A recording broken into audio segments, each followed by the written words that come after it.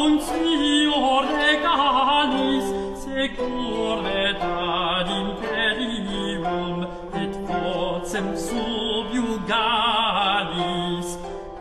unam est mysterium et furor laicalis favor tamen venalis qui non in plant per ostium foret